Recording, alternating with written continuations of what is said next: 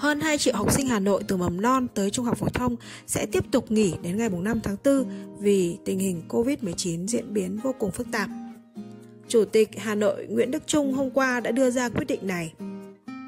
Ông Trung nhận định không loại trừ dịch diễn biến phức tạp hơn trong 15 ngày tới. Do đó, khung thời gian năm học 2019-2020 rất có thể lại bị nhỡ. Khả năng học sinh trung học phổ thông trở lại trường ngày 22 tháng 3 khó thực hiện được. Chủ tịch Hà Nội đề nghị ngành giáo dục thủ đô tính toán các kịch bản, báo cáo Bộ Giáo dục và Đào tạo về chương trình dạy. Thành phố chuẩn bị sẵn sàng điều kiện để ngày 5 tháng 4 học sinh đi học trở lại.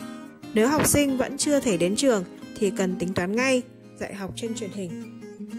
Năm học 2019-2020, cả nước có hơn 22 triệu học sinh từ mầm non đến trung học phổ thông. Học hết tuần 20, học sinh nghỉ Tết và nghỉ phòng tránh Covid-19 đến nay, hầu hết các tỉnh thành cho học sinh nghỉ học đến hết tháng 3 và khoảng 30 tỉnh thành cho học sinh trung học phổ thông đi học lại từ mùng 2 tháng 3.